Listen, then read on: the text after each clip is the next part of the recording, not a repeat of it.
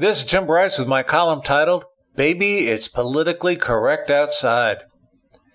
Tis the season, not for Christmas or any other religious holiday, but for political correctness.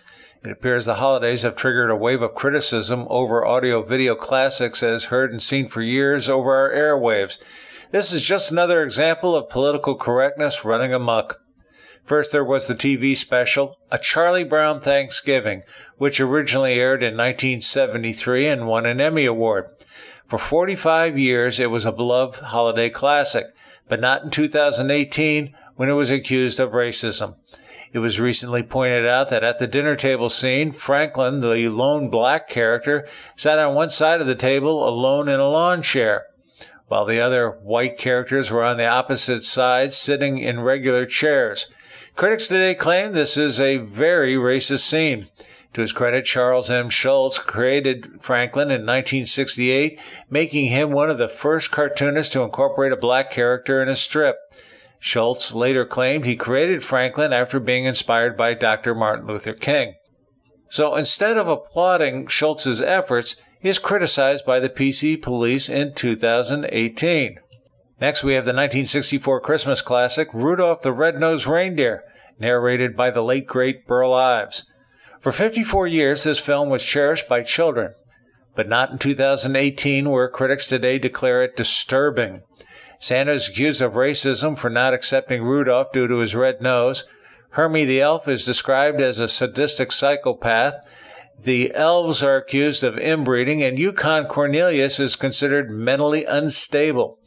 I wonder how we overlooked all of this for over 50 years.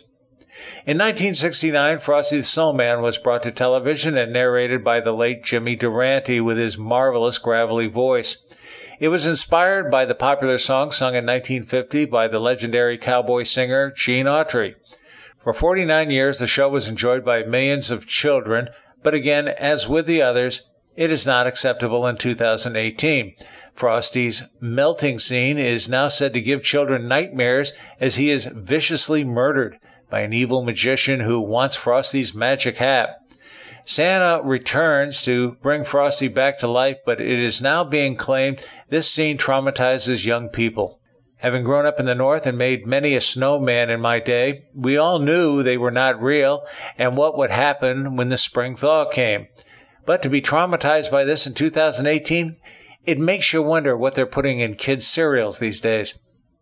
Finally, we come to WDOK FM 102.1, also known as Star 102 in Cleveland, who recently banned the song Baby It's Cold Outside, as it could be construed as promoting male predatory tactics of women, something of keen interest to the Me Too movement. Anyone remember the Justice Brett Kavanaugh hearings? Although it's not a true Christmas song, it was written in 1944 and played around the holidays. It is primarily sung as a duet between a man and a woman. In its 74 year history, there have been dozens of renditions by a variety of artists, including Ella Fitzgerald and Louis Jordan, Esther Williams and Ricardo Montalban, Vanessa Williams and Bobby Caldwell, Lee Ann Womack and Harry Connick Jr., Anne Murray and Michael Bublé, Martina McBride and Dean Martin, and many others. Great music, but you won't hear it anytime soon in Cleveland. WDOK FM ran a poll on their Facebook page asking listeners what holiday song should be omitted from their playlist. And out of 600 responses, 94%, or 564 votes, were in favor of it.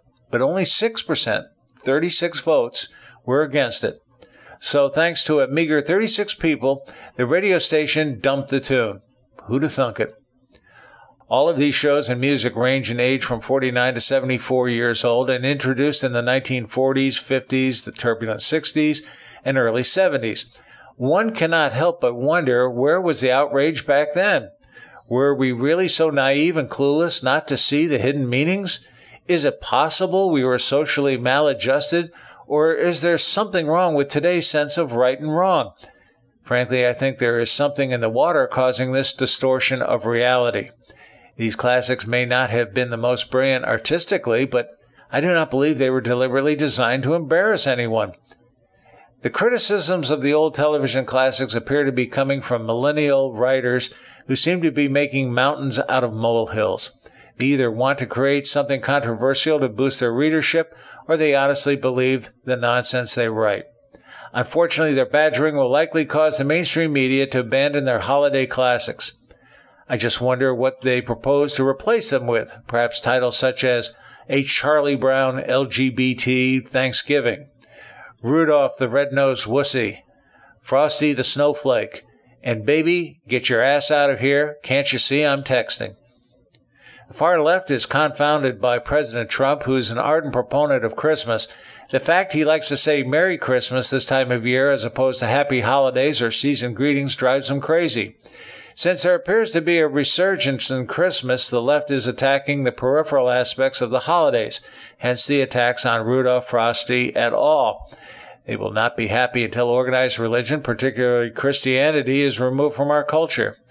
The reality, though, is this will never happen. Friends, keep the faith. This is Tim Bryce in Palm Harbor, Florida. Follow me on the internet at timbryce.com.